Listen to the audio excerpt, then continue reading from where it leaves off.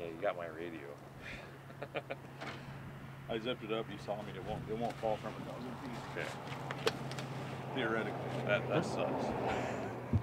Where the hell did that radio go? I don't know. yeah, we dropped one of our radios from about a thousand feet. Whoops. it's gone. We don't know where it went. We have an idea where it fell, but we, We know what what wheat stubble it's in. Yeah. Well, does it really matter at that point? We, I said it probably broke anyway when it hit the dirt because it was already dry and hard in the freaking concrete. Oh yeah. Alright.